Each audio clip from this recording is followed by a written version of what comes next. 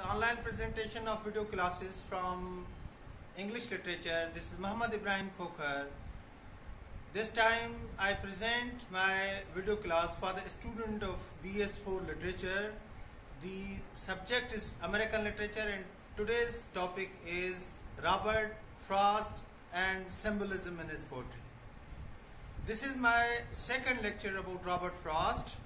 Our previous lecture was about comparison between Robert Frost and William Wordsworth as poet of natures.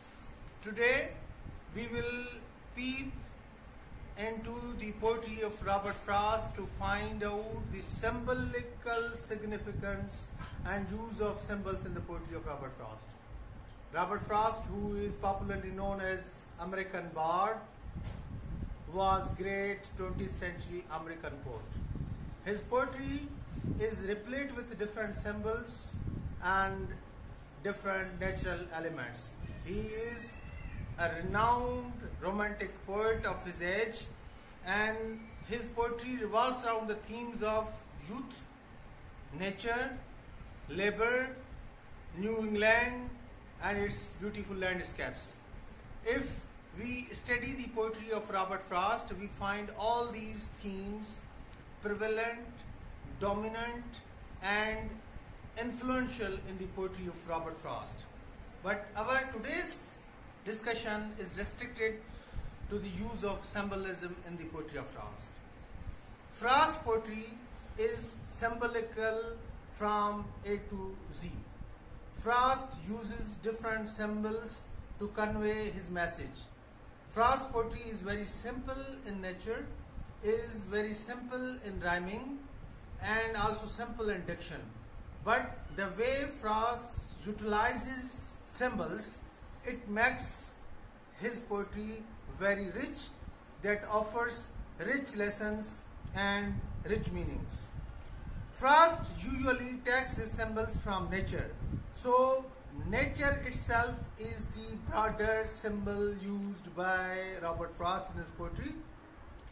We often find love for nature, representation of nature, nature life, wildlife, landscapes in the poetry of Frost. And all these landscapes, all these uh, manifestations of wildlife and other elements of nature present different symbols. For example, poetry of Frost is replete with mention of trees. Trees are symbolically used in the poetry of Frost and Frost uses trees as the symbol of boundaries and borders. Whenever Frost uses tree as a symbol, it indicates boundary, it indicates border.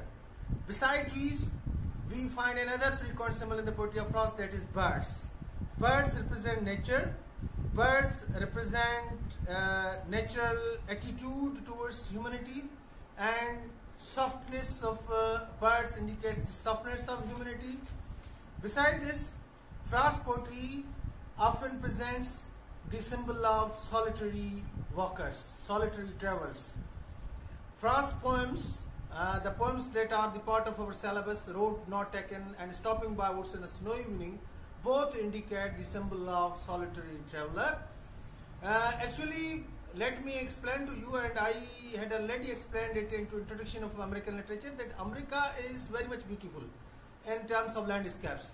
So American writers while describing the landscapes of America used to present uh, travelers used to present even themselves as the travelers who roam and wander around the vast arena of American life.